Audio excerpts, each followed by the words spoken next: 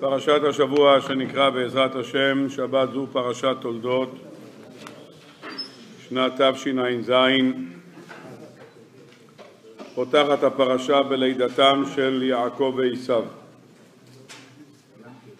וימלאו ימיה ללדת והנה תומים בבטנה ויצא הראשון אדמוני כולו כעדרת שיער. ויקראו שמו עשיו ואחרי כן יצא אחיו וידו אוחזת בעקב עשיו ויקרא שמו יעקב ויצחק בן שישים שנה בלדת אותם. ויגדלו הנערים ויהי עשיו איש יודע ציד איש שדה.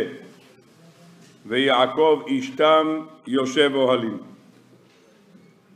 אומר רש"י ויגדלו הנערים כל זמן שהיו קטנים לא היו ניכרים במעשיהם ואין אדם מדקדק בהם מה טיבם כיוון שנעשו בני שלוש עשרה שנה זה פירש לבתי מדרשות וזה פירש לעבודה זרה. רבי אליהו מזרחי, הראם מובא בשפתי חכמים במקום, שואל מה אומר רש"י שבגיל 13 אחד הלך לישיבת שם ועבר ואחד הלך לעבודה זרה. הרי כתוב ברש"י שכבר מהמעיים שלהם הם נפרדו. בשעה שהייתה עוברת, עוברת רבקה ליד בית המדרש, היה יעקב רוצה לצאת. הייתה עוברת ליד בית עבודה זרה, היה עשיו רוצה לצאת. אז מה פירוש הדבר שבגיל 13 הם נפרדו? כך שואל רבי אליהו מזרחי. אומר תשובה, בתחילה אף שעשה עשיו מעשים רעים, היו תולים את הדבר בנערותו. היה עושה מעשים רעים, אומרים, שמע, שובב, ילד קטן, היו תולים את זה במעשים שלו, מעשי קטנות, והבריות לא הכירו בו עד שנעשה בן 13. שואל הרב אליהו מזרחי, רק בגיל 13? הרי רש"י כותב במפורש שבגיל 15 עשיו יצא לתרבות רעה, שהרי נאמר ויבוא עשיו מן השדה והוא עייף, מתי זה היה? ביום שנערכה הלוויה של אברהם אבינו. הבראה של אברהם אבינו הייתה כשעשיו היה בן 15, כי למה הקדוש ברוך הוא לקח את אברהם אבינו חמש שנים לפני הזמן? כדי שלא יראה את עשיו יוצא לתרבות רעה, אז מה אתה אומר שבגיל 13 נפרדו דרכיהם? על פי מה שכתוב כאן זה היה בגיל 15, לא בגיל 13. אומר הראם תשובה, הוא התחיל כבר לעשות מעשים רעים בגיל 13, אבל מתי כולם ראו את זה? עד עכשיו הוא עשה את זה בנחבא, עשה את זה בנסתר. מתי ראו את זה כולם? בגיל 15 כולם ראו את זה. אלה הדברים שאומר רבי אליהו מזרחי. מה רבנו?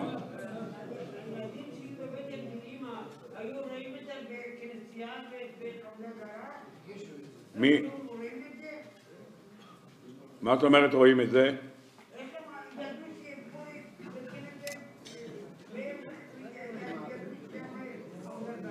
אני לא יודע איך הם ידעו, אבל כך כתוב בחז"ל, שהם היו מגיעים לפה זה היה קופץ, מגיעים לפה זה היה קופץ, אני לא יודע איך הם ידעו, אבל כנראה שהם הרגישו. אומרת התורה, ויהי עשיו איש יודע ציד. אומר רש"י, יודע לצוד ולרמות את אביו בפיו. היה שואל את אבא איך מאסרים את התבן ואיך מאסרים את המלח, כסבור אביו שהוא מדקדק במצוות. הלשון של רש"י קצת קשה, מה זה איך מאסרים את המלח? כמו שמאסרים מלפפונים. איך מאסרים מלפפונים אתה יודע?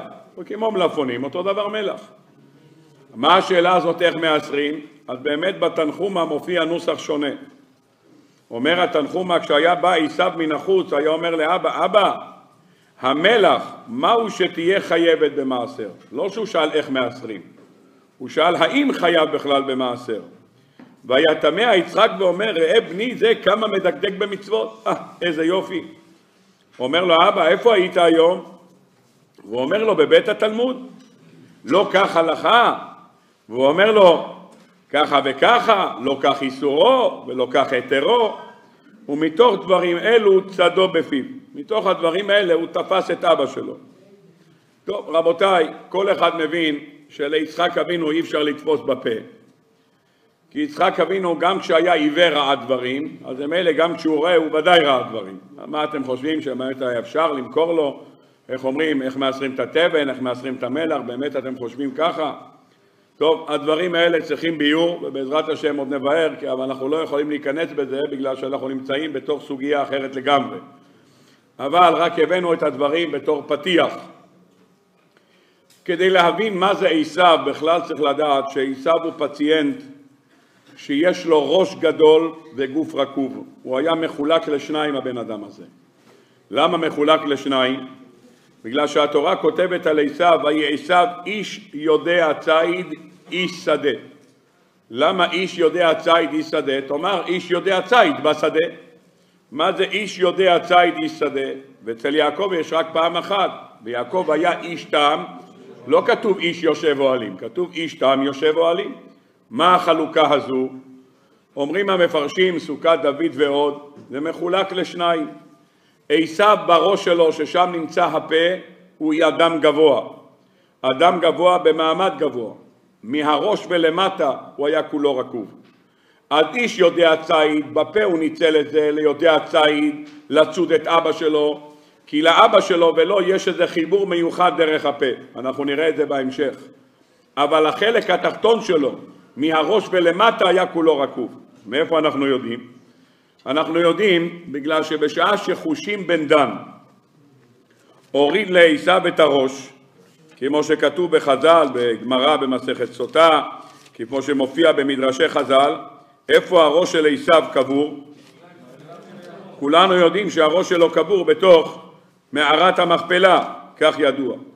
אבל ראיתי השבוע דברי תרגום יונוסן בן מופיע בפרשת ויחי, פרק נ', פסוק י"ג. הוא מביא פה את כל הסיפור עם חושים בן דן, שעשיו עיכב את הלוויה ונפתלי רץ למצרים להביא את השטר, ואז בא חושים בן דן ונטל סייפה לקח חרב וקטע רישא דעשיו רשיע, הוריד את הראש של עשיו והאווירישא דעשיו מתגלגל, הראש של עשיו התגלגל, הדעה לגוי מארתא, עד שנכנס לתוך המערה. איפה הוא נכנס הראש הזה? איפה הוא התמקם? ואתנח בגוי איתפי דאיצחוק אבוי. הוא נכנס בתוך החק, בחיקו של יצחק אבינו. אתם מבינים שראש של בן של איסטוב נכנס בידיים של יצחוק זה לא דבר פשוט. אם היה נכנס ברגליים שלו, הייתי אומר יותר מתאים. אבל כאן מביא שהוא נכנס לתוך החיק שלו, זאת אומרת הוא תפס אותו וחיבק אותו. אם זה חיבוק של יצחוק אבינו לראש של עשיו, סימן שהראש שלו הוא ראש גדול. מה יש בראש שלו, על זה בעזרת השם עוד נדבר, אבל זה מה שכתוב כאן בדברי רבותינו. אומרת התורה, וייסב איש יודע ציד איש שדה, היה צד את אבא שלו בשאלות. שואל הרחיים הקדוש, ולמה הוא לא שאל את אמא שלו? למה כל השאלות הוא שאל את אבא שלו, שישאל גם את אמא שלו שאלות. איך מאסרים את הפפריקה, איך מאסרים את הפלפל חריף, תשאל שאלות, מה עושים עם הכמון. תשאל, במטבח יש כל מיני חומרים. את האבא שאלת על המלח, את האמא תשאל על הפפריקה. את האמא הוא לא שאל שאלות. למה? אומר אור החיים הקדוש, לא לצד המצוות היה חושש. לא, תחשוב שבאמת עשיו התכוון לעשות מצוות, אלא לצד שהיה ירא מקללתו של יצחק אבינו. הוא פחד שהוא יקלל אותו. אז לכן, מה שנקרא לשמור את אבא שלו על, על אש נמוכה, אז הוא כל הזמן אומר, אבא, את שאל היום מהשאלות על הפלפל, על הפפריקה, מה, שאל כל מיני שאלות. ואבא שלו אומר, וואו, איפה היית? בית מדרש, נו. אז פיין, ככה הוא משך אותו. ולזה תמצא, כותב הר הקדוש, שבשעה שהוא רצה להרוג את ינקב אבינו, מה כתוב? יקרבו ימי אבל אבי והרגה את יעקב אחי. שואל הר החיים הקדוש, ומה עם אמא שלך? מה זה יקרבו ימי אבל אבי? יקרבו ימי אבל הוריי.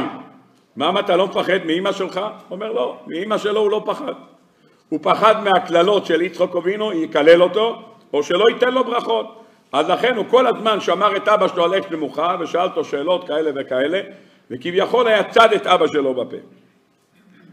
אומרת התורה, נקרא רק עוד קטע אחד, אומרת התורה, ויזד יעקב נזיד ויבוא עשיו מן השדה והוא עייף. יעקב אבינו בישל. למה יעקב אבינו בישל? אומרים חז"ל, רש"י מביא את דברי הגמרא, מסכת בבא בתרא, אותו יום נפטר אברהם אבינו ועשה יעקב תבשיל עדשים לנחם את יצחק אביו. למה הוא צריך לבשל?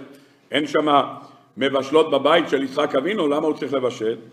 התשובה כי זו הייתה סעודת הבראה, וסעודת הבראה אסור להביא מהבית של המת, אלא מביאים מאיפה? מבתים של אחרים. אז לכן הוא בישל, וזה היה בסעודת הבראה שהוא הביא משלו. אלה הדברים, מה? על פי ההלכה, כדי להזדקק לאחרים, יש בזה כמה וכמה טעמים. אלה הדברים שכתוב כאן בדברי רש"י. אומרת התורה, ויאמר עשיו אל יעקב, הליטני נא מן האדום האדום הזה, כי עייף אנוכי, על כן קרא שמו אדום. מה זה הליטני נא? שמעתם פעם ביטוי כזה הליטני נא? נא זה לשון תחנונים, נכון? אין נא אלא לשון בקשה.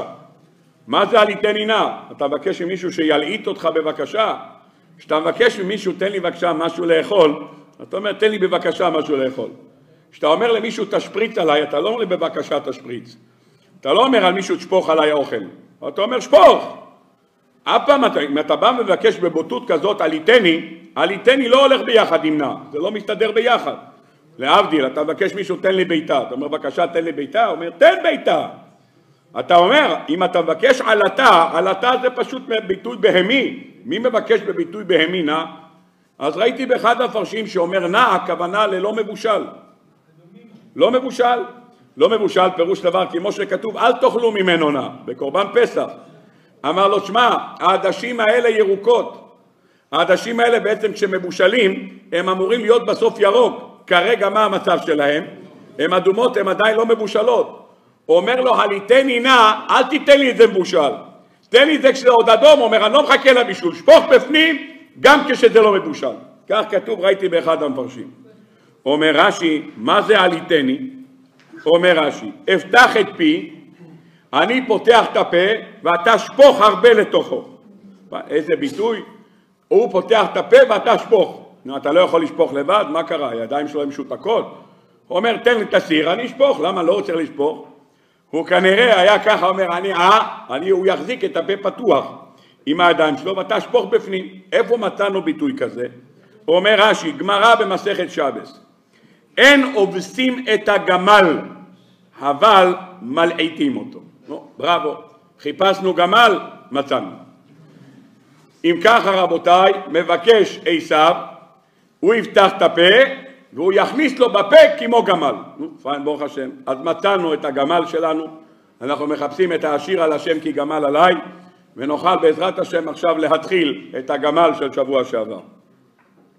אני רק רוצה, ברשותכם, כאן הוא עשיו מבקש לאכול כמו גמל. אבל בעזרת השם בהמשך הפרשה עשיו משום מה החליט למסד את חיי הנישואים שלו. מתי זה קרה? בן כמה הוא היה שהוא החליט למסד את חיי הנישואים שלו? אומרת התורה, וייסע בן ארבעים שנה, הוא נהיה בן ארבעים שנה, לקח לו שתי נשים. שואלים חז"ל שם, למה הוא חיכה עד ארבעים שנה? מה קרה? חז"ל הרי אומרים במסכת בבא בתרא שהיה צד נשים תחת יד בעליהם, אז מה קרה עכשיו? אומרת התורה, וייסע בן ארבעים שנה, ויקח אישה את יהודית בת בארי החיתי ואת בוסמת בת אלון החיתי, אומר רש"י, מה הוא חיכה עד ארבעים שנה?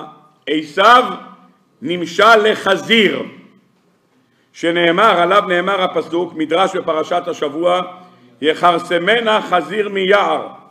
החזיר הזה, כשהוא שוכב, פושט לפיו למר, ראו שאני טהור. כך אלו גוזלים וחומסים ומראים עצמם כשרים, כל ארבעים שנה היה עשיו צד נשים מתחת יד בעליהם, ומענה אותם. וכשהגיע לגיל ארבעים אמר, אבא בן ארבעים שנה נשא אישה, אף אני כן. הבנתם? הוא הולך בדרכי עובס. במה הוא הולך בדרכי אבות? בגיל ארבעים הוא מתחתן. בן פורת יוסף, אה, אדם חמוד. ארבעים מתחתן, האלתר נובר דוקר, בן ארבעים התחתן. רבותיי, רק נסמן לעצמנו שתי הסימנים לפני שאנחנו נכנסים לתוך הדבשת של הגמל. עשיו אוכל כמו גמל ומתחתן כמו חזיר. או, יופי, עכשיו אפשר להתחיל בעזרת השם לפתוח את הנושא ולהיכנס לתוך עשיו ולהבין מה הולך עם הגמל. בואו נעשה רענון זיכרון לקראת ההמשך. בשבוע שעבר דיברנו שאליעזר לוקח עשרה גמלים מגמלי אדוניו. שאלנו בשביל מה צריך עשרה גמלים? כדי לקחת שטר אחד של מתנה או לקחת כלי נחושת, כלי כסף, כלי זהב ותכשיטים, מספיק חמור אחד צולע. מה צריך לקחת עשרה גמלים? אז הבאנו מה שכותב השח, הבאנו מה כותב רבנו אפרים, שהוא לקח עשרה גמלים כנגד עשרה ניסיונות שנתנסה אברהם אבינו, והחזקוני אומר שהוא לקח על הגמלים האלה עשרה אנשים בשביל ברכת האירוסין והנישואים. אלה הדברים. כן, הבאנו גם עשר בירת שלמות, נכון. הבאנו את זה שעשר זה שלם, ולכן גם יוסף הצדיק שלח עשר אתונות ועשר חמורים, הבאנו. טוב, רבותיי, כל אחד שואל את עצמו שאלה. אם זה כנגד עשרה ניסיונות, היה הדבר הכי חכם לעשות, לקחת את החמור שאיתו הלכו לעקידה. למה? אם אתה אומר שעשרה גמלים כנגד עשרה ניסיונות, קח חמור. קח את החמור הזה שאיתו הלכו לעקידה. החמור הזה, אומר, אומרים חז"ל בפרקי דרב אליעזר, הוא החמור שרכב עליו אברהם אבינו לעקידה, הוא החמור שרכב עליו משה רבינו בשעה שהלך לגאול את ישראל ממצרים, והוא החמור שבעזרת השם עתיד מלך המשיח לגאול את ישראל, ככה רש"י מביא גם. אם ככה נשאלת השאלה, קח חמור, את החמור של אברהם אבינו ותיסע איתו, סע איתו, תגיע איתו לחרן. מה תגיד? אתה צריך משהו שידהר, שילך מהר? נו, ידוע לכולם שבסוף הגמלים, הרי קפצה להם הדרך. נכון שהוא לא ידע קודם שהיא תקפוץ הדרך, אבל קח לפחות חמור אחד. אתה הולך עם גמלים, קח איתך את החמור הזה כנגד עשרה ניסיונות. לא, הוא לא לוקח. הפלא הגדול הוא שחז"ל אומרים על הגמל שהוא ארור. ארור. איפה אומרים חז"ל על הגמל שהוא ארור? פלא מופלא. אבל חז"ל נמצא במדרש רבה על הפסוק ארורה האדמה בעבורך. אני לא יודע אם הבאנו את זה בשבוע שעבר. ארורה האדמה בעבורך, אומרים חז"ל, שתעלה לך יתושים, פרעושים וזבובים, ותעלה לך גמל. זאת אומרת שבארורה האדמה בעבורך נכנס גם הגמל בתוכו. פלא מופלא, כל המפרשים במדרש, משנת רבי אליעזר, המתנות כהונה, המארזו, רש"י, כל המפרשים במדרש לא מבינים מה שייך גמל לארור.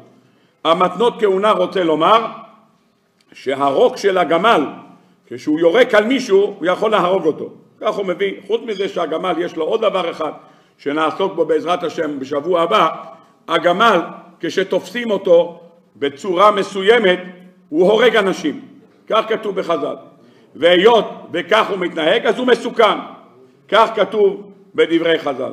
טוב, אני נשאלת השאלה, אז אם אתה הולך לקחת שידוך ליצחק, ליצחק אבינו, מה אתה לוקח איתך ארור? לא מספיק לך שאתה ארור, ואין ערוך מדבר בברוך, מה אתה לוקח איתך חמור, גמלים? קח איתך חמור אחד. שאלה נוספת שפתחנו בה בשבוע שעבר, למה מוזכר הגמל כל כך הרבה פעמים? 18 פעמים מוזכר הגמל בפרשת חיי שרה. מה מונח בזה? שהתורה מזכירה כל כך הרבה פעמים, והזכרנו את דברי רבינו בחיי, שאומר רבינו בחיי שדבר מוזכר הרבה פעמים, יש איזה סיבה, שבת 12 פעמים, איסור אכילת דם 12 פעמים, יציאת מצרים 50 פעם, מה פשר דבר? כדי להבין את היסוד הנפלא הייתי רוצה להציב עוד שאלה אחת. חז"ל מביאים שאליעזר נקרא דמשק אליעזר. למה קוראים לו דמשק אליעזר? אומרת הגמרא, מסכת יומא דף כ"ח, שהיה דולה ומשקה מתורת רבו לאחרים. פירוש הדבר, הוא מעצמו לא יזם כלום. כל מה שהוא עשה, הוא דלה מתורת רבו והשקע לאחרים. זה המציאות שלו. לכאורה לא מצאנו שאברהם אבינו רכב על גמל. לכאורה אני אומר. למה אני אומר לכאורה? כי בתורה לא מצאנו שהוא רכב על גמל. מצאנו שהוא רכב לעקידה, היה חמור. זה מה שראינו. אבל כן מצאנו בפרקי דרבי אליעזר בפרק ל' שם מובא שהוא רכב על גמל, אמנם במפורש לא כתוב, אבל כתוב שהשביע אותו. שרה אימנו, הוא מאוד רצה ללכת לבקר את ישמעאל, היא השביעה אותו, שהיא מרשה לו ללכת אבל בתנאי שהוא לא יורד מהגמל. אני מקריא פרקי דרב לזר פרק ל'. שלח ישמעאל ולקח לו אישה מערבות מואב. ואיסה שמה, השם של האישה הראשונה קראו לה איסה. לאחר שלוש שנים הלך אברהם לראות את ישמעאל בנו, ונשבע לשרה שלא ירד מעל הגמל, במקום שישמעאל שרוי שם. הגיע לשם בחצי היום, ומצא את אשתו של ישמעאל. אמר לה, היכן ישמעאל? אמרה לו, הלך עם אמו להביא פירות ותמרים מן המדבר. אמר לה, תני לי מעט מים ולחם, תני לי, אני רוצה לאכול משהו. כי עייפה נפשי מן הדרך. אמרה לו, אין לחם ואין מים. אין, מה חשבת, מסעדה פה? יאללה, לחם, אומרת לו. אמר לה, כשיבוא ישמעאל, הגידי לו, בא זקן אחד מארץ כנען, תגידו לו, הגיע זקן אחד מכנען, לראותך, והשאיר הודעה שסף הבית אינו טוב. תגידי לו שהמשקוף לא טוב בבית. הגיע ישמעאל, אמרה לו אשתו, בא אחד זקן, הרכוב על גמל, ואמר שהבית פה, המשקוף לא טוב. הלך ישמעאל וזרק אותה מיד מהבית. הבין שמי שהיה שם זה אברהם אבינו, אמר אם אבא שלי יסתכל עליך אמר את כלום, הביתה. הלכה עמו ולקחה לו אישה מבית אביה, ושמו פטומה, היו קוראים לזה פטמה אני חושב. קיצור, פטומה. לאחר שלוש שנים הלך אברהם לראות את ישמעאל בנו, ונשבע לשרה כפעם ראשונה שאינו יורד מן הגמל. שוב הבטיח אותו דבר. הגיע לשם בחצי היום, ומצא את אשתו של ישמעאל, אמר לה, היכן הוא ישמעאל? אמרה לו, הלך עם אמו לראות את הגמלים במדבר. מעניין, הוא כל הזמן הולך עם אמא שלו הדבר הזה. למרות שהוא כבר מבוגר, יש לו כבר אישה ונכדים, אבל הוא תמיד הולך עם אמא, מעניין. בקיצור, הלך עם אמא שלו. אמר לה, תני לי מעט לחם ומעט מים, כי עייפה נפשי מדרך המדבר, הוציאה ונתנה לו. עמד אברהם והיה מתפלל לפני הקדוש ברוך הוא על בנו, ונתמלא ביתו של ישמעאל מכל טוב ומן הברכות. וכשבא ישמעאל הגידה לו אשתו את הדבר הזה, וידע ישמעאל שעד עכשיו רחמי אביו עליו. אז הנה כאן מופיע שפעמיים הוא הלך וכתוב גמל. טוב, אני רוצה להביא לכם דבר נפלא. ישנו ספר שנקרא אמר נקה, שמעתם פעם את הספר הזה? הספר הזה הוא ספר שחיבר אותו רבנו עובדיה מברטנורה. אמר נקה, ספר על התורה. אמר נקה זה נקרא צמר נקי. בספר שלו הוא אומר דבר יפהפה, ואני חושב שהדברים כל כך מתחברים למה שאנחנו אומרים כאן. אומרת התורה בשרשת שבוע שעבר, ויקח העבד עשרה גמלים מגמלי אדוניו. שואלים חז"ל, מה זה מגמלי אדוניו? מה אכפת לך אם זה מגמלי אדוניו או לקח מאביס? העיקר הלך עם גמלים. לא, מגמלי אדוניו. אה, הלך לקח גמלים, אכפת לך מאיפה הוא לקח את הגמל? ויקח העבד עשרה גמלים. למה התורה צריכה לציין מגמלי אדוניו? אומרים חז"ל, אתה יודע למה? כי הגמלים של אברהם אבינו כולם הכירו אותם. למה הכירו אותם? הם היו זמומים. היו הולכים עם זמם על הפה, היה להם קשור הפה, וזהו, לא יכלו לזוז, אז קשור על הפה. אז כולם הכירו אותם. אחרי זה שהוא הגיע לבית של לבן, מה כתוב? ויפתח הגמלים, הוא פתח אותם, שמו להם לאכול, והוא פתח את הגמלים, אז הוא פתח, היה להם זמם על הפה. טוב, בא המדרש ושואל שאלה יפהפייה. המדרש שואל שאלה, ואני חושב שזה אחד המקומות היחידים במדרש שאין תשובה. שואל המדרש, מה? אברהם אבינו צריך לשים זמם על הפה של הגמלים? והרי כולנו יודעים שהחמור של רבי פנחס בן יאיר לא היה לו שום זמם על הפה ולא היה לו שום דבר ולא אכל אוכל במקום שהוא לא מכיר את האוכל. ידוע לכולם מה שהמדרש מספר בהרחבה גדולה שפעם אחת גנבו, זה גמרא גם במסכת אה, חולין, אומרת הגמרא, פעם אחת גנבים גנבו את החמור של רבי פנחס בן יאיר, גנבו והחזיקו אותו בתוך מערה שמו לפניו לאכול, הוא לא אוכל. יום שני שמו לאכול, לא אוכל. אמרו הגנבים, זה חמור יש לו אנורקסיה. לא אוכל, צריך לאשפז אותו, צריך להכניס אותו אוכל בזונדה. הוא לא אוכל. בואו נזרוק אותו. מה? אנורקסיה זה מי שלא יכול לאכול. מי שלא אוכל, קוראים לזה אנורקסיה.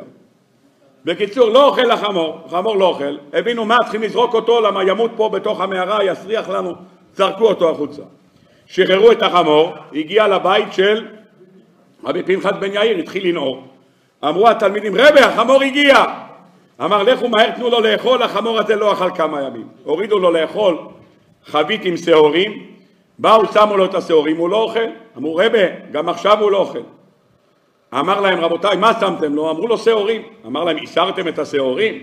מה, איסרנו את השעורים? אתה לימדת אותנו ששעורים ששמים בפני חמור לא צריך לאסר. הוא אומר, אתם צודקים, אבל מה אני יכול לעשות שהחמור שלי מחמיר על עצמו? מה אני יכול? לא אוכל, לא מאוסר, רק בדת עדה חרדית. נו, מה לעשות? זה החמור שלו. שואל המדרש, איך יכול להיות שהחמור של רבי פנחס בן יאיר לא אוכל דבר שהוא לא מאוסר גם בלי זמם, והגמלים של אברהם אבינו צריך לשים להם זמם על הפה? איך ייתכן דבר כזה? והמדרש נשאר בצורך עיון. טוב, עד כאן. בא הספר אמר נקה, שאלה שכל המפרשים מנסים לפענח אותה. או, מי, מי אומר את זה? כן, אבל מי, מאיפה לקחת את זה? מיוזמתך? ראיתי אחד הספרים היום שאומר שזה לפני מתן תורה וזה אחרי מתן תורה. אבל הוא מביא לזה ראיה נוספת. הראיה שרבי פנחס בן יאיר, אומרת הגמרא במסכת חולין, הוא בקע את נהר גינאי שלוש פעמים. שואל החיים הקדוש בפרשת בשלח, מה אתה עושה כזה חגיגה גדולה מקריאת ים סוף? הנה יש לך רבי פנחס בן יאיר בקע. מה התשובה שהוא אומר? שרבי פנחס בן יאיר היה אחרי קבלת התורה, ואילו פרשת בשלח כי ים שלו לפני קבלת התורה. אז הוא הולך באותו קו לומר, אברום אבינו היה לפני קבלת התורה, ולכן היה צריך לשים זמן, ואילו פנחס בן יאיר אחרי קבלת התורה. והשפעת הצדיק נמצאת עליהם עד משפיע. טוב, בא אמר נקה, רבנו עובדיה ברטנורה, ואומר דבר נפלא.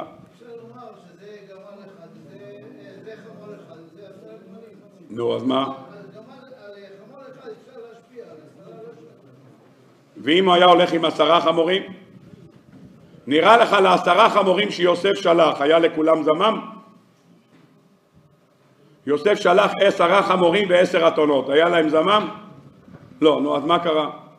אז רואים שגם בעשרה לא צריך. טוב רבותיי, אני אגיד לכם את התשובה שלו, הוא אומר תשובה יפה מאוד, באמת תשובה יפה.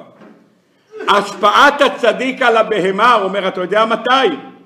כשהוא רוכב עליה. כשהוא רוכב עליה, אז יש השפעה של הצדיק.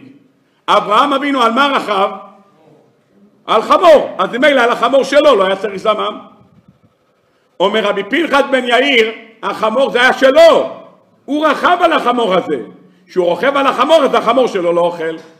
אבל אברהם אבינו לא רכב על גמלים, אלא מה רכב רק על חמור. אם הוא לא רכב על הגמלים, אז אין השפעה על הגמלים, כי הוא לא רכב עליהם. אלא מה? שימשו להובלות. הובלות זה לא שלו, אומר נכון שזה נמצא ברשותו, אז לכן הוא שם עליהם זמם.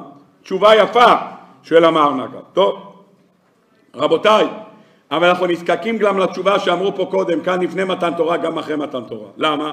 כי יש עוד חמור אחד. החמור הזה הוא של רבי יוסי דמן יוקרת. אני מכיר את הסיפור, גמרא במסכת תענית מספרת הגמרא שהיה לו חמורים, היה לו חברה להשכרת חמורים, 19 שקל ליום. מה שיש היום, 19 שקל, זה משם הלקוח. 19 שקל ליום. אבל, אומרת הגמרא, אם שמו שם 18 שקל, החמור לא זז. שמו 20 שקל, גם לא זז. זה חמור מיוחד. אומרת הגמרא, היית, היה לו מטחן, כמו המזגנים פה, שמת 18 שקל, התחיל ללכת. שמת 20, לא זז. נו, אז החמורים שלו, אתה רואה, גם כן היו חמורים, בלי שהוא רכב עליהם. הם היו חמורים שידעו לא לזוז. חז"ל אומרים שמישהו פעם השאיר שמה נעל, והחמור לא זז. הוא אומר, עד שלא הוציאו את הנעל, החמור לא זז, כי הוא לא לקח דבר שלא שלו. והזכרנו כבר מה שאמר עבדיה יוסף, זכר צדיק לברכה. הוא לא מבין את החמור הזה, אומר, למה? מילא שמו לו 19 שקל הלך, אבל הבית אמר לו 19 שקל ליום, דוחפים אתה הולך. אבל אם נותנים לך 20, למה לא תיקח? אומר, נתנו לך טיפ. מה אכפת לך תלך? טיפ, עוד שקל. אמר רב יוסף, למדנו מכאן שמי שלא לוקח טיפ חמור. טוב, רבותיי, אם ככה למדנו כאן כלל נפלא. אז יש לנו את החמור שיש לו השפעה, מה ההשפעה? ההשפעה של רבי פנחת בן יאיר החמור כי הוא רחב. משה רבינו רכב על החמור, לא היה צריך זמם, אבל הגמלים הוא אומר, הוא לא רכב עליהם, לא רכב עליהם, לכן צריך לשים זמם. למדנו גם מדברי רבינו עובדיה ברטנורה, שהגמלים של אברהם אבינו הוא לא רכב עליהם. ראינו, האבות לא רוכבים על גמלים. כל האבות רוכבים על מה? על חמורים. נשאלת השאלה, מה מונח כאן? אף על פי שהאבות לא רוכבים, האימהות כן רוכבות. על שרה לא כתוב, אבל שבה שרה קראנו על רבקה אימנו. כתוב בפסוק, ותקם רבקה ונערותיה, ותרכבנה על הגמלים, הם כן רוכבות, ותלכנה אחרי האיש.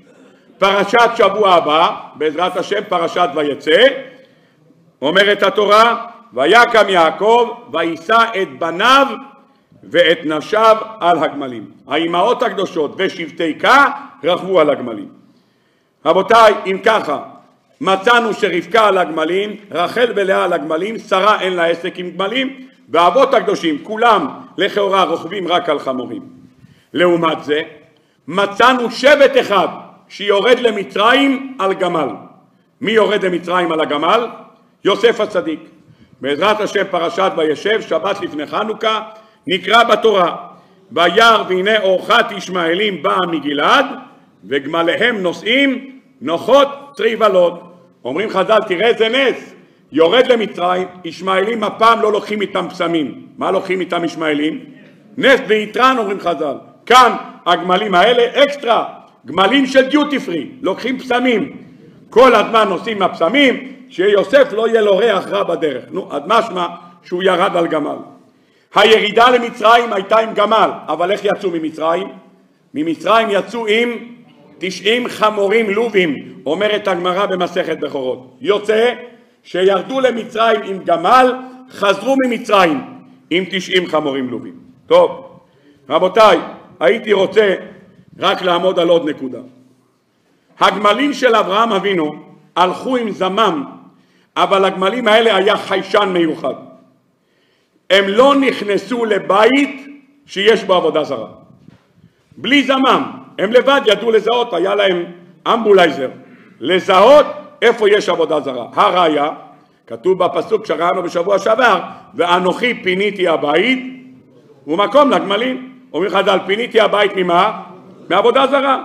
אומרים חז"ל, אבות דרבי נתן פרק ח' ואנוכי פיניתי הבית ומקום לגמלים.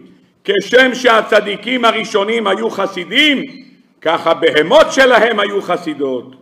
אמרו, גמליו של אברהם אבינו לא נכנסו לבית שיש בו עבודה זרה, שנאמר ואנוכי פיניתי הבית ומקום לגמלים. ממה? מטרפים. ומה תלמוד לומר ומקום לגמלים? מלמד שלא נכנסו לבית, לבית לבן הארמי עד שפינו כל העבודה זרה מפניהם. טוב, רבותיי, עוד שאלה אחת, שתיים, לפני שנתחיל לטפס. אומרת התורה ותקם רבקה ונערותיה ותרכבנה על הגמלים ותגלחנה אחרי האיש. פירוש הדבר, מי היה ראשון? ראשון מי היה? אליעזר. אחריו? עשרה אנשים שהיו איתו. ואחריו? רבקה ונערותיה. אומרת הגמרא עירובין י"ח, אומרת הגמרא ברכות ס"א, שזה לא צנוע שהנשים תלכנה בהתחלה והגברים אחריהן. חז"ל לומדים משם שמנוח עם הארץ היה. למה? כי כתוב אצל מנוח וילך מנוח אחרי אשתו. מה אתה הולך אחרי אשתך? מה אתה הולך? אומרים חז"ל שם בגמרא מנוח עם הארץ היה אפילו בר ברב נמי לא קרא פסוק בתורה הוא לא יודע מה כתוב בתורה? ותרכבנה על הגמלים ותלכנה אחרי האיש, אתה יודע שאישה לא הולכת קודם. מה אתה נותן לאשתך ללכת קודם? פירוש הדבר שקדימה מי היה? אליעזר. אחריו הגברים, ואחרי זה רבקה ונערותיה. חז"ל, בפרקי דרבי אליעזר פרק ט"ז, אומרים חז"ל, דע לך שאליעזר קפצה לו הדרך גם בחזור, גם, גם בהלוך וגם בחזור. בהלוך כתוב, ואבוא היום על העין, אומרים חז"ל, היום יצאתי והיום באתי, גם בחזור זה היה ככה. אומרים חז"ל דרב לזר פרק ט"ו, שקפצה לו הדרך, בשש שעות בא עבד מחרן, לקח את רבקה ואת דבורה מנקתה, והרכיב אתם על הגמלים, ובשביל שלא יתייחד העבד רבקה עם רבקה בלילה, קפצה לו הדרך לפניו, ובג' שעות בא לחברון לעת מנחת ערב.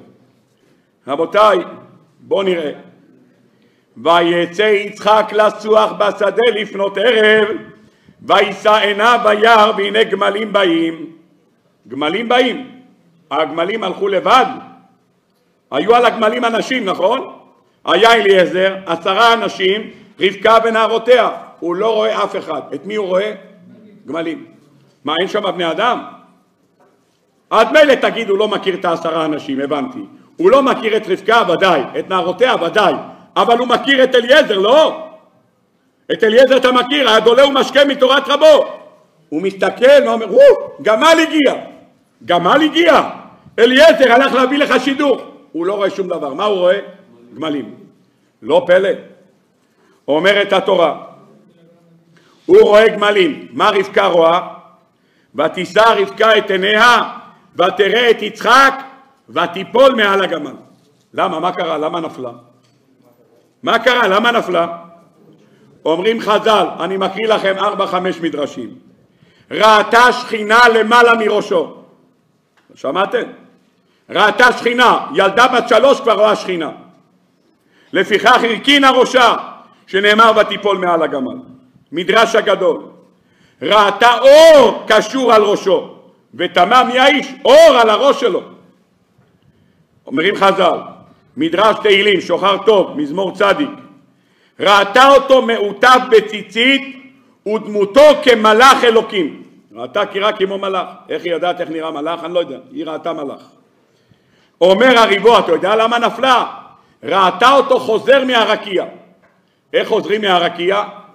הפוך. ראשו למטה, רגליים למעלה. כך אומר הריבו. לכן נפלה מהגמל. אותו דבר פענח רזה. אומר הרשב"ם, נפלה מעל הגמל לצניעות. לפי שהייתה רוכבת כמו איש, משום ביעתותא דגמלה. בגלל צניעות היא נפלה. למה? כדי שלא תשב על הגמל, אז מפני הצניעות היא סיבבה את עצמה. כדי שלא תשב על הגמל, היא סיבבה את עצמה לצד אחד ונפלה. אני מקריא לכם ילקו שמעוני עוד קט.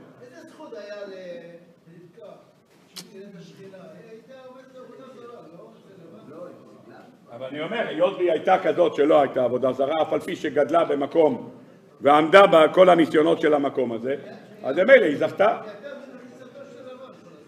כן, במצוותו של בתואל ולבן.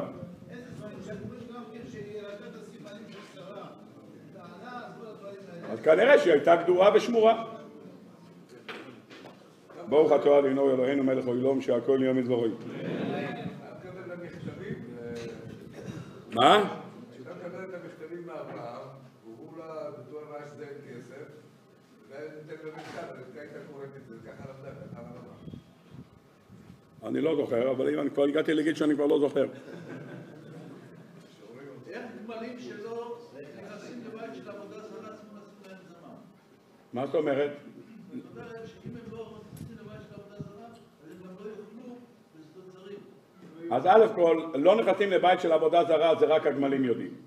וזה שעם זמם כולם רואים.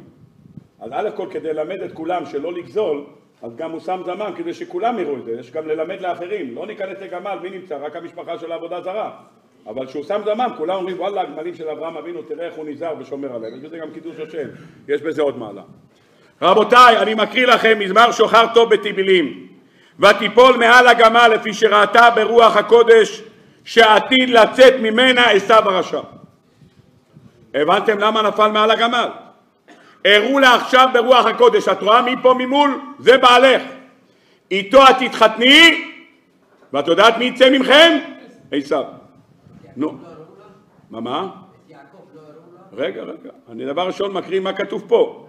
לפי שראתה ברוח הקודש שעתיד לצאת מעשיו הרשע. מיעקב לא נופלים, מיעקב קופצים. למה נפלה מהגמל? הראו לה את עשיו. אני מקריא ברשותכם מדרש רבה ברישיס רבו סמך מה קרה עם הגמל? ותיפול מעל הגמל מה יש בגמל? מה הגמל הזה יש בו סימן טומאה וסימן טהרה כך העמידה רבקה צדיק ורשע טמא וטהור מה יש לגמל? הגמל הוא אחד מארבע בעלי חיים שיש להם סימן טהרה אחד הגמל, השפן והארנבת הם מעלה גרה ולא מפריסי פרסה. הגמל הוא מעלה גרה ולא מפריס פרסה. אז יש לו סימן טהרה אחד שהוא מעלה גרה, זה יעקב אבינו. ויש לו סימן אחד של טומאה, עשיו הרשע. אתה יודע מה ראתה בגמל? למה נפלה מעל הגמל? הראו לה שיצא ממנה כמו גמל. מהגמל יש סימן טהרה אחת זה יעקב, ויש לו סימן טומאה זה עשו. לכן נפלה מעל הגמל. עד כאן מדרש רבה ברישיס רבו סמך דבר נפלא. רבותיי, אני רוצה להמשיך הלאה. גמרא ברכות דף נ"ו עמוד ב' הרואה גמל בחלום נקטה נקנסה עליו מן השמיים והצילוה ממנה. אחד הלך לישון, קם שתיים בלילה, וואו, ראה גמל, עם דבשת אחת או שתיים לא נפקא מינה, ראה גמל. ראה גמל, תדע לך, היית בשערי מוות, יצאת משם. וואו, איזה פחד. שואלת הגמרא, מה יקרא? מאיפה לקחת את זה? שנאמר, נאמר להקדוש ברוך הוא אומר ליעקב אבינו, ואנוכי ארד עמך מצרימה, ואנוכי אעלך גם עלו, גם עלו זה גמל. איך יוצא מגם עלו גמל? אומר רש"י, קרוב לנוטריקון. אם אתם אומרים קריאת שמע במהירות, אז יוצא שאתה אומר חרף, מה יוצא לך? חרף. להגיד בחרף. אם אתה אומר גם עלו במהירות, מה יוצא לך? גמלו. אתה אומר, אנוכי עלך גם עלו, גמלו. יו, נוטריקון, פיין ברוך השם. רב נחמן בר יצחק אמר מאחה, גם השם הביא חטאתך לא תמות. איפה זה נאמר? אצל בת שבע ודוד המלך, בא אליו נתן הנביא, ואומר לו אתה בן מוות, למה? נתן לו את משל כבשת הרש, ואז הוא שואל את דוד המלך, מה הדין של אותו, מה הוא אמר לו? בן מוות הוא האיש. מה אומר לו נתן הנביא? אתה! מה אמר דוד המלך? חטאתי לשם. באותו רגע שאמר חטאתי לשם, אומר לו הנביא, גם השם העביר חטאתך לא תמות. אה לפני רגע אמרת בן מוות, ועכשיו אמרך לא תמות. הרואה גמל בחלום, מיתה נקנסה עליו ויצא ממנו. איפה זה מופיע? גם השם העביר חטאתך, גם זה שתי אותיות מתוך גמל. אז רוב הגמל נמצא בגם. יש עוד מהרשו עם גם יוונית, לא ניכנס כרגע. עד כאן דברי הגמרא. רבותיי, אתם יכולים להסביר לי מה הקשר בין גמל לבין זה שנכנסה עליו מיטה? מה הקשר? ומי שרואה היפופוטם בחלום, אתה לא יכול להגיד מיטה נכנסה עליו ויצא ממנו. מה קרה דווקא גמל? מה הפציינט הזה פתאום נכנס לנו פה בתוך העניין? או, אז מי שמה שאתה אומר, כותב הספר תורה תמימה. אומר הספר תורה תמימה, לא שהוא ראה גמל, הוא ראה את האותיות ג' מ' ל'. הרואה גמל בחלום, זה לא חייב להיות גמל, הוא אומר גמל זה אותיות ג' מ' ל'. וחז"ל אומרים, ארבעה צריכים להודות, זה הרי נמצא בפרק הרויה. בפרק הרויה מדברים על ארבעה צריכים להודות, מי מודה? עוברי ימים, הולכי מדבריות, חבוש וחולה. מה הם מברכים? הגומל לחייבים טובות. אז אם אתה אומר, אתה רואה ג' מ' ל' בחלום, אתה רואה בחלום סימן שהיית צריך למות, בארבעה צריכים להודות, ויצאת מזה. ככה אומר תורה תמימה, רעיון נפלא. בא הספר באר יוסף לרבי יוסף סלנט, מביא את הגמרא במסכת קידושין, בדף פ"ו אומרת הגמרא, פ"ב סליחה, הגמלים רובם כשרים, הגמלים הם אנשים כשרים, אומר רש"י למה? שפורסים למדבריות למקום גדודי חיות וליסטים ויראים לנפשם ומשברים ליבם. אדם שנוסע על גמל ונמצא במדבר הוא כל הזמן בלחץ. למה הוא כל הזמן בלחץ? הולך במדבר, שומע שאגה של אריה, שומע את הזה של הטיגריס, שומע זה שאגה של נמר, הוא נכנס ללחץ. הוא בלחץ, הוא אומר מי יודע, הוא בא לא בא לא בא, מה הוא יכול לעשות? יתקשר למד"א, עד שהם יגיעו הוא כבר יהיה עם הגמל בתוך הזה, מה? אז הוא כל הזמן בפחד. אומר הספר באר יוסף, לכן הרואה גמל בחלום הוא כמו הגמלים, שמה? הם כל הזמן בפחד ממוות, שיטרפו אותם. לכן הרואה גמל בחלום, מיטה נקנסה עליו ויצא ממנו. פיין. בספר פתח עיניים, מסכת ברכות, מביא הספר פתח עיניים, אנחנו נקרא בעזרת השם בעוד שלושה שבועות פרשת וישלח. בפרשת וישלח שולח יעקב אבינו דורונות לעשו. מה הוא שולח לו? אומרת התורה. המשלוח שהוא שולח לו, עזים 200, בואו נקרא את הפסוק בפנים. עזים 200, תיישים 20. רחלים 200, אלים 20. גמלים מניקות ובניהם 30. פרות ארבעים, פרים עשרה, אתונות עשרים, עיירים עשרה. רבותיי, כמה גמלים הוא שלח? שלושים, יש גם נקבות, או שבתוך זה יש גם נקבות? עם הנקבות שלושים. זה לא כל כך בטוח, אבל אני הולך איתך, כי המדרש לומד מה שאתה אומר. אם ככה שואל המדרש, עיזים 200, רחלים 200, גמלים כמה יש? 30. פרות כמה יש? 40. איך היה צריך להיות הסדר? קודם כל צריך לבוא פרות, כי זה 40, אחרי זה צריך לבוא גמלים 30. למה משנה את הסדר? שואל המדרש.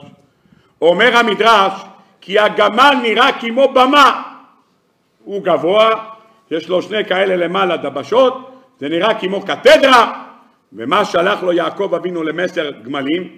אמר לו יעקב, הווה רואה את עצמך כאילו אתה יושב על הבמה, ודן ואני נידון לפניך, ואתה מתמלא עליי רחמים. למה שלח גמל? כי גמל מסמל גמילות חסדים, רמז לחסדים. אז הוא מבקש ממנו, בבקשה תרחם עליי. אומר אם ככה ספר פתח עיניים, זה מה שכתוב כאן. הרואה גמל בחלום, תדע לך שדנו אותך בשמיים, ודנו אותך למוות, ויצאת מזה. אז זה העניין של הרואה גמל בחלום, מיטה נכנסה עליו ויצא מזה. פיין, עד כאן דברי חז"ל. רבותיי, אני רוצה ללכת בכיוון אחר לגמרי. מה זה הרואה גמל בחלום? מיטה נכנסה עליו מן השמיים. רבותיי, בואו נקרא גמרא. גמרא שאני בטוח שכולם פה למדו אותה. כולם, לומדי הדף היומי, גם מי שלא למד דף היומי, למד משניות שבת. יש במסכת שבת משניות שנקראים במה בהמה. אם מה יוצאים מבהמה, במה לא יוצאת, כן יוצאת. אומרת המשנה, מסכת שבת, דף נ"ד, ובמה אינה יוצא. המשנה הראשונה במה כן יוצא, המשנה השנייה במה לא יוצא. לא יצא גמל במטולטלת. אתם יודעים מה זה מטולטלת? לא, פעמון יש לפרה בשוויץ. גמל, גמל יוצא עם מטולטלת. מה זה מטולטלת? מטולטלת אומרים חז"ל, זה כרית שנמצאת מתחת לזנב של הגמל. יש לו כרית מתחת לזנב, לא יוצאים עם זה בשבת. ממשיכה המשנה, לא יצא הגמל לא עקוד ולא רגול. וכן שאר כל הבהמות. אתם יודעים להגיד לי מה זה עקוד ורגול? עקוד מה זה?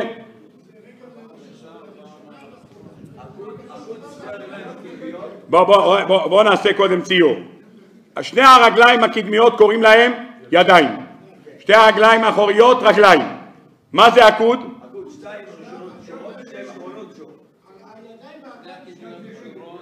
עקוד מה זה? שתיים קדימה, שתיים אחורה? לא.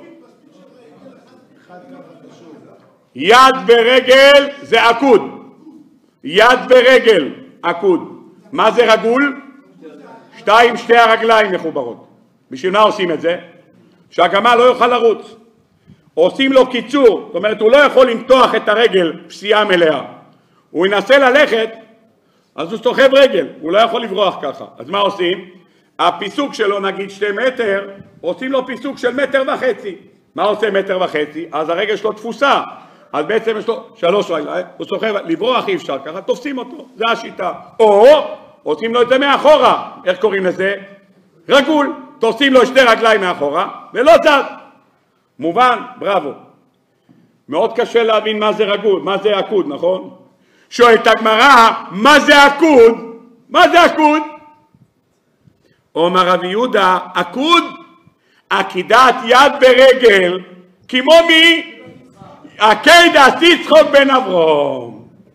הבנת איפה שמו את יצחק אבינו? ברגליים של הגמל. לא מצאת איפה לדחוף אותו? לא מצאת איפה להגיד? אין דוגמה. אתה רוצה דוגמה? תגיד עקודים, נקודים וברודים. מה זה עקודים? במוקם הקדר. נו תדע גם שמה מוקם הקדר. עוד מעט אותות.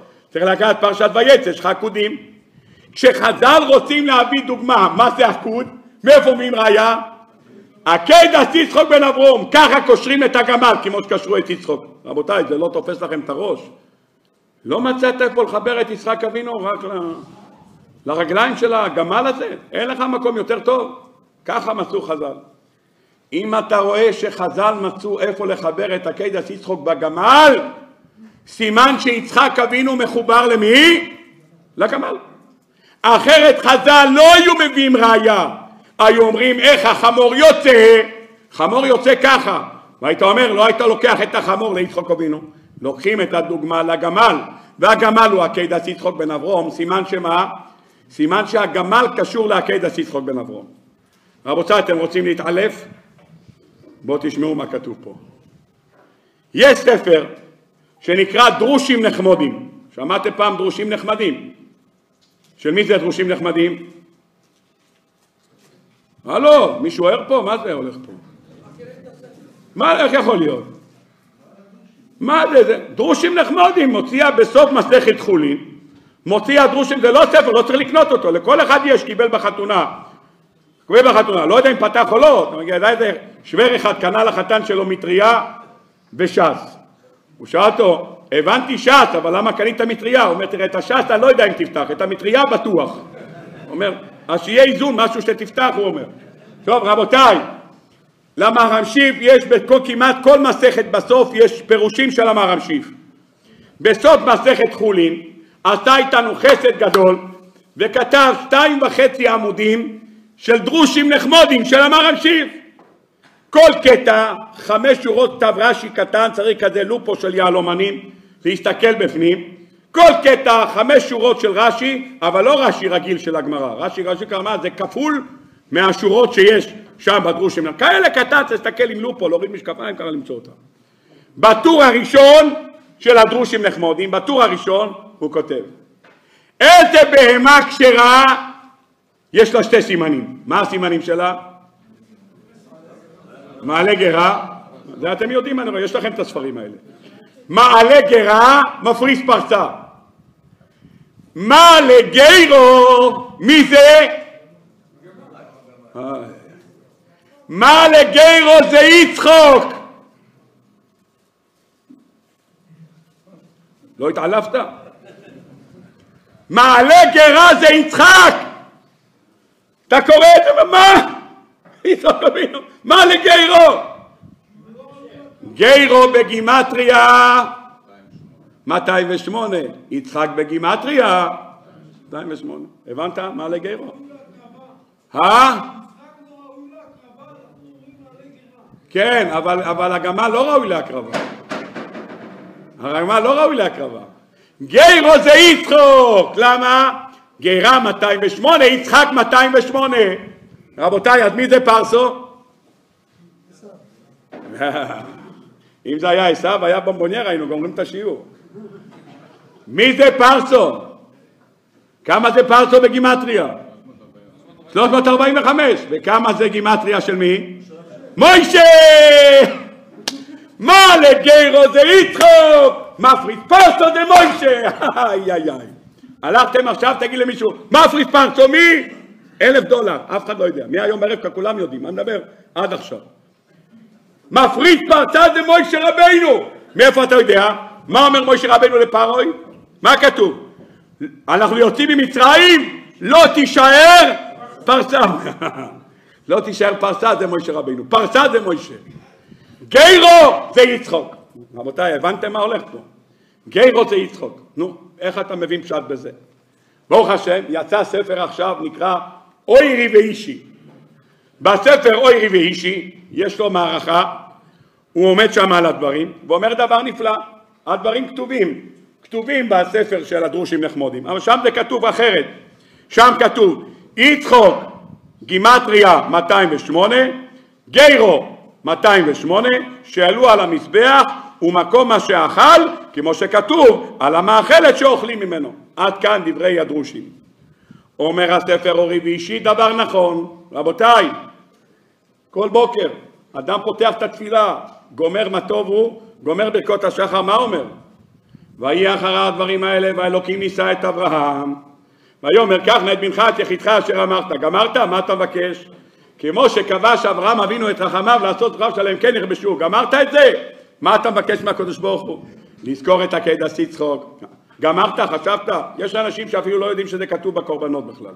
הם לא יודעים, בשבילם מתחילה תפילה משהו בקיבה סוס פרעה. שם מתחילה. שם מתחילה תפילה, נגמרת באלה ברכב באלה בסוסים, וגם באמצע הוא גם דוהר גם בזה, אתה מבין? ובכל התפילה הוא בתוך הסוסים. אבל מי שמתחיל במה טוב, הוא ואומר לאט לאט, יש לו שם קורבנות, קורבנות, יש הקיידה. גמרת, יש בקשה אחרי הקיידה. אחרי שאתה אומר את הבקשה על הקיידה, שוב אתה מזכיר את, את הקורבנות. גמרת, יש נפילת אפיים במקום שאין יורצייט או מישהו חולה, אתה אומר מיד נפילת אפיים. מה כתוב? ברוגל, לכם תזכור, ברוגל, עקדה תזכור. הגעת למנחה, אז תלוי מאיזה עדה אתה. אם אתה תימני, אומרים עקדת יצחק לפני מנחה, אומרים? אומרים לפני מנחה, אומרים, התימנים אומרים עקדת יצחק לפני מנחה. אם אתה עיראקי, גם אומרים, טוניסאים אני חושב גם אומרים. אומרים לפני מנחה, אומרים עוד פעם עקדת יצחק. גמרת עקדת, יש כאלה שאומרים רק בימים הנוראים. יש כאלה שאומרים, כל אחד במנהג שלו, ויש כאלה שיש להם ימים נוראים כל השנה, אז אומרים כל השנה. הגעת למנחה נפילת אפיים, אם אתה עושה נפילת אפיים במנחה. ברוגז, רחם תזכור, ברוגז, עקידה תזכור. רבותיי, היום היה ראש חודש, ראש חודש כסלו, כמה זמן חרבף בראש השונה? כמה זמן עבר מראש השונה? שבע חודשים, לא? כמה זמן עבר? חודשיים בסך הכל, זה נראה לנו שכבר אכלנו סופגניות בכלל. חודשיים עבר מראש השונה, מה בראש השונה? עקידת יצחוק לזר היה מברך תזכור ברוכתו השם זויכר הבריז תוקע בשופר מקרן של איל, למה קרן של איל? כדי שיזכור לכם עקידת יצחוק בן אברום הולכים לתשליך במקום שיש דגים, למה? כי השטן עשה לנהר, בראבו, אוכלים קרן, אוכלים קשור, קרן של כבד, נראה לראש ולא זנב, למה? עקידת יצחוק אומר הספר אוי רביעי אז מה אתה עושה עם עקדת יצחוק? מה אתה עושה איתו? אתה כל יום מעלה אותו, מוריד אותו, מעלה אותו, מוריד אותו, לא? כל יום אתה מעלה אותו, מה זה מעלה גרו? מה זה מעלה גרה? האוכל יורד, עולה עוד פעם, מורד, עולה עוד פעם. למה כתוב לא תחרוש בשור וחמור יחדיו? למה? למה אסור לחרוש בשור וחמור יחדיו? חז"ל אומרים כי הגמה, השור מעלה גרה והחמור לא מעלה גרה והחמור הולך איתו ביחד, צורבים שניהם את המחרשה והוא רואה אותם מאיפה יש לו את המסטיק הזה? כל הזמן. הוא לא יודע מאיפה זה בא, הוא אומר, אל תעצבן את החמור. עזוב, חמור, חמור, אתה רואה שהוא חמור, אל תעצבן אותו, עזוב. תן לו ללכת עם עוד חמור, שניהם הולכים רעבים. לא יודע, הוא כל הזמן אוכל עוד עצבים, לא, לא. פירוש דבר מה זה מעלה גרה? עולה, עולה, עולה, יורד. אומר הספר אוי רביעי שגרו זה יצחוק. אתה יודע למה גרו זה יצחוק? כי כל רגע אתה מזכיר אותו. על הבוקר מזכיר, נפילת אפיים מזכיר, מנחה מזכיר, נפילת אפיים מזכיר, כל הזמן שחז"ל רוצים להביא דוגמה בגמל, בגמל שהרגל והיד קשורה, מה אתה מביא? עקד הציצחוק, למה עקד, למה לא, תכניס מעלה גרה, בוא נעלה אותו עוד פעם את עקד יצחק. כי בכל מקום שאתה מזכיר את עקדת יצחק אתה מעורר זכויות, אז אתה כל הזמן מעורר זכויות. רבותיי, יוצא שמה זה גרו? גרו זה יצחוק. אם גרו זה יצחוק אז הגמל מה הוא? הוא מעלה גרה. הוא מעלה גרה ולא מפריס פרסה. גיירו זה יצחוק, זה מה שכתוב כאן. אומר הספר אורי ואישיה רואה גמל בחלום, מיתה נקנסה עליו וניצל ממנו. אם אתה אומר שגמל זה יצחוק, אם גמל זה יצחק, מה קרה ליצחק? מיתה נקנסה עליו וניצל ממנה. איפה מיתה נקנסה עליו? בעקידה. למה מיתה עליו נקנסה עליו? כיוון שהיה לו נשמה של נוקבה, נשמה של נקבה. אמר הקדוש ברוך הוא לא יכול ללדת עם נשמה של נקבה. אז מה צריך לעשות לו? לא צריכים לעשות לו תחיית המתים, להכניס בו נשמה חדשה. אז הוא מת וחזר לתחייה. מאיפה אנחנו יודעים שהוא מת וחזר לתחייה? אומר הזוהר הקדוש, לכן הקדוש ברוך הוא אמר לאברהם אבינו לקרוא לו בשם יצחק. למה קוראים לו יצחק? יצחק אומר הזוהר זה חיבור של שתי מילים. קץ חי. החיים שלו יגיעו אל קיצם והוא יקום בחזרה. אומר השיבולי הלקט, באותו רגע שהוא קם לתחייה, פתחו מלאכי השרת ואמרו ברוך אתה השם מחיי המתים. זאת אומרת יצחק אבינו מת וחזר בחזרה לחיים. הרואה גמל בחלום, מי זה גמל? זה יצחוק אבינו. הרואה גמל בחלום מיתה נקנסה עליו ויצא ממנו. למה? נגזר עליו מוות וחזר בחזרה לחיים. אם ככה בסייעתא דשמיא נוכל להבין טוב מאוד.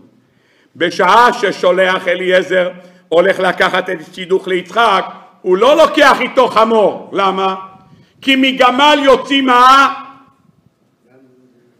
מה יוצא מגמל? אחד טמא ואחד טהור.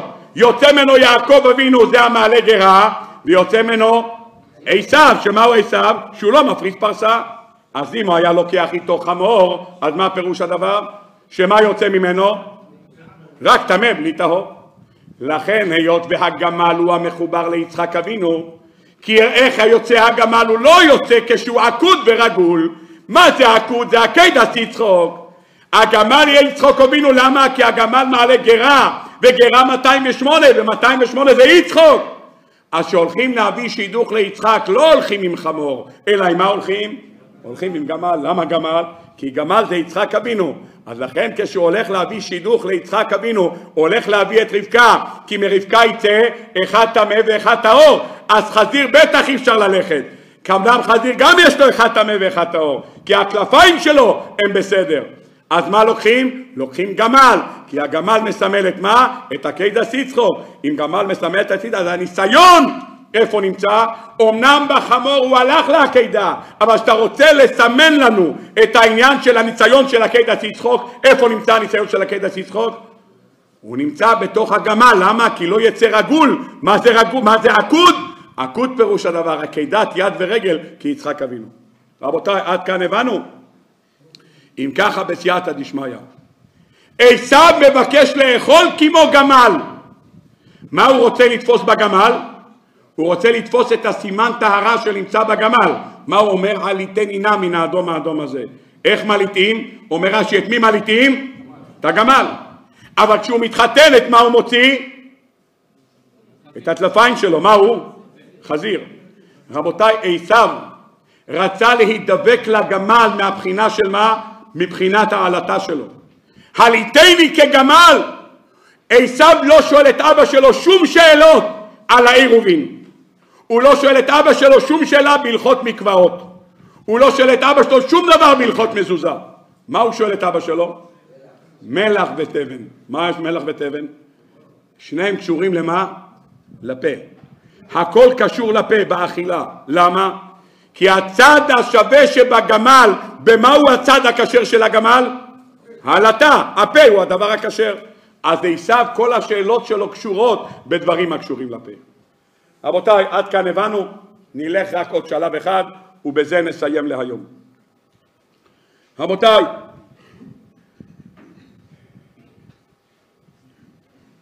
אתם אומרים פרקי שירה? יש פה מישהו שאומר פרקי שירה? אה? פרקי שירה, לא שירת הים, פרקי שירה, ברייתא של פרקי שירה. אה? ליל יום כיפר אומרים פרקי שירה? טוב. פרקי שירה, כל בעלי החיים כולם שרים לקדוש ברוך הוא. אתם יודעים, בעלי חיים שרים, הפירות שרים, האילנות, הציפורים, כולם שרים.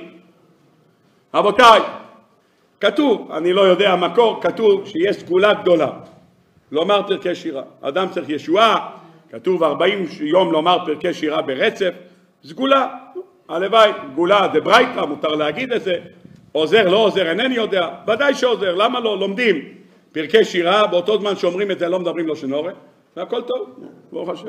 זה סגולה לשלום בית, אם הבעל מתקשר אתה אומר לו חמור מה הוא אומר, הוא סוגר את הטלפון. טוב, בקיצור, כל מיני אופציות.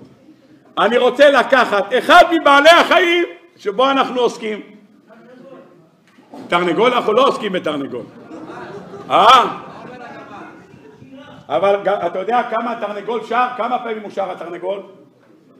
כמה פעמים הוא שר התרנגול, אתה יודע? שבע פעמים. אבל אנחנו לא עוסקים בתרנגול היום. טוב. למה התלבשת על התרנגול דווקא? למה התלבשת על התרנגול היום? אה? אה, טוב.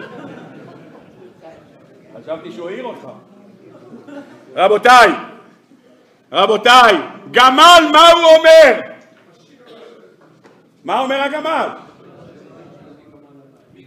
השיר על השם כגמל עליי, אני רואה נתפסתם על הפסוק הזה ממפורת יוסף. לא יודע מי כמוך.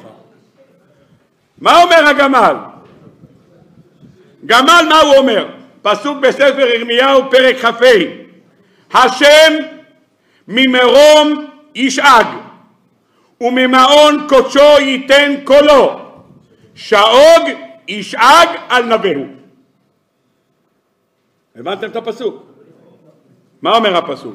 השם ממרום קודשו ישאג ומלמעלה שואג אחרי זה על מה הוא שואג? אחרי זה ממעון קודשו יש מרום ויש מעון במעון הוא צועק פעמיים שאוג ישאג על מה הוא שואג? על נבהו מה זה נבהו? בית מראה ברכות דף ג' כולם מכירים דף ג' גם לומדי הדף היומי. עד אמצע ברכות כולם נמצאים עדיין. דף ג' כולם עוד זוכרים. אמר רבי אליעזר שלוש משמרות הווה הלילה.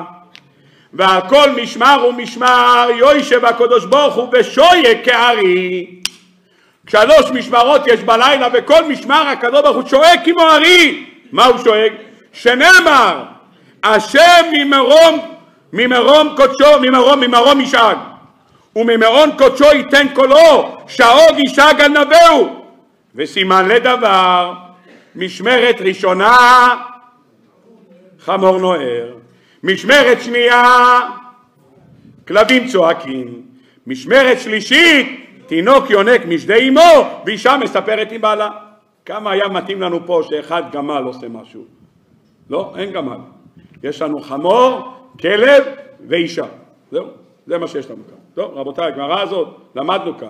שלוש משמרות הווה הלילה והקדוש ברוך הוא שואג שלוש פעמים. איפה? השם ממרום קודשו ישאג אחד. מרום קודשו ייתן קולו שאוג ישאג. עד שלוש פעמים כנגד שלוש משמרות זה מה שכתוב כאן רבותיי אתם יכולים להסביר לי מה הגמל קשור לבית המקדש? אה? נו יפה מאוד בבית המקדש איפה היה? במקום של הר המוריה. מה היה בהר המוריה? עקדת יצחק. אז עקדת יצחוק היה בהר המוריה, ואיך גמל לא יוצא בשבת כשהוא עקוד? כי עקדת יצחוק מה? שלא יהיה עקוד ורגול, עקוד כעקדת יצחוק. אז הגמל מסמל את יצחוק, ויצחוק אבין העקדה, ואיפה היה עקדה? בביס המקדוש, בהר המוריו. אז מה הגמל צועק? הגמל צועק שהאוג ישג הנבהו, על זה הוא צועק. רבותיי נפלא, אבל בואו נלך פרשת שבוע. פרשת שבוע שלנו מספרת לנו התורה דבר נפלא. יצחק אבינו פתאום נהיה חופר בארות. חופר בארות, כך אומרת התורה. אומרת התורה, נקרא את הפסוקים בפנים. אומרת התורה, הנה, הגענו. וישב יצחק ויחפור את בארות המים אשר חפרו בימי אברהם אביו ויסתמו פלישתים אחרי מות אברהם ויקרא להם שמות כשמות אשר קרא להם אביו ויחפרו עבדי יצחק בנחל וימצאו שם באר מים חיים ויריבו רועה גרר עם רועה יצחק לאמור לנו המים ויקרא שם הבאר עסק כי התעסקו עמו. ויחפרו באר אחרת ויריבו גם עליה ויקרא שמה שטנה ויעתק משם ויחפור באר אחרת ולא רבו עליה. ויקרא שמה רחובות ויאמר כי אתה הרחיב השם לנו ופרינו בארץ. רבותיי אתם יכולים להסביר לי יצחק אבינו פתח חברת מקורות? מה אתה חופר בארות? מה קרה מה צריך מים? אז יותר בשבילו מים. בעלי חיים שלו הכל נכון. חופר באר אחרת לא הולך. איך הוא קורא לבאר הזאת? עסק! כי התעסקו עמו. לא נותנים לך? באת לפנצ'ריה, היה לך פנצ'ר, לא נתנו לך לתקן, ויקרא את המקום הזה מנוולים.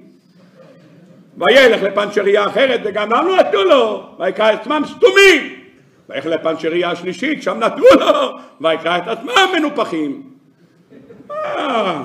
עסק, שטנה, לא נתנו לך, גיא בייטר, מה אתה קורא לזה שמות? שטנה, אה, תקרא, תקרא. ברכה נתנו לך, תקרא לזה פיינינגית, מי ברק, על שם בני ברק. נו, גמרנו. מה קרה? אומר הרמב"ן, תדע לך, יצחק אבינו לא חופר בארות, יצחק אבינו לא עובד במקורות, הוא לא חופר בארות, אתה יודע מה הוא חופר? הוא חופר בתי מקדש. הבאר הראשונה שהוא חפר כנגד בייס ראשון, בית ראשון, מה קרה לבית הזה? נחרב. למה נחרב? עסק. מה היה עסק? אומר לנו הרמב"ן, אומר שם הקליוקור. עסק, מה היה? בית ראשון היה מצה ומריבה ושנאת חינם בין נשיאי ישראל שנקראו רועים. אז מה כתוב? שבאו הרועים, רועי גרר, והלכו מכות עם הרועים שלו. במקום הזה מה היה? היה מריבה. בית שני על מה נחרב? על שנאת חינם. אז איך קוראים לבאר השנייה? שטנה, על שם השנאת חינם. הבאר השלישית קרא רחובות על שם ה... על שם הבית השלישי. בבית השלישי אף אחד לא ייגע. למה? כי הרחיב השם לנו פרינו בארץ שבית המקדש השלישי הוא הנבנה על ידי הקדוש ברוך הוא יורד שלם מלמעלה. כי הרחיב השם לנו פרינו בארץ כמו שהקדוש ברוך הוא חי וקיים אותו דבר גם בית המקדוש יהיה חי וקיים. אז מה יצחק אבינו בנה? בנה בתי מקדש. הוא חופר בארות וסותמים זה בית ראשון. חופר באר שני וסותמים זה בית שני. בית שלישי קיים לנצח. גמל מי זה? גמל זה יצחוק אז מה עושה הגמל? שאוג ישאג על נבהו, על מה הוא צועק? שלוש שאגות. שאגה ראשונה נחרב בית ראשון, שאגה שנייה נחרב בית שני, שאגה שלישית בעזרת השם כי הרחיב השם לנו. למדנו את הקשר שבין הגמל לבין הבארות ובשבוע הבא יש לנו עניין עם השיר על השם כי גמל עליי. רבי חיים בן הקשי אומר רצה הקדוש ברוך הוא זכות ישראל לפיכך בא להם תורה ומצוות שנאמר, אני לא חופץ למען צדקו, ידי תורה ויאדיר.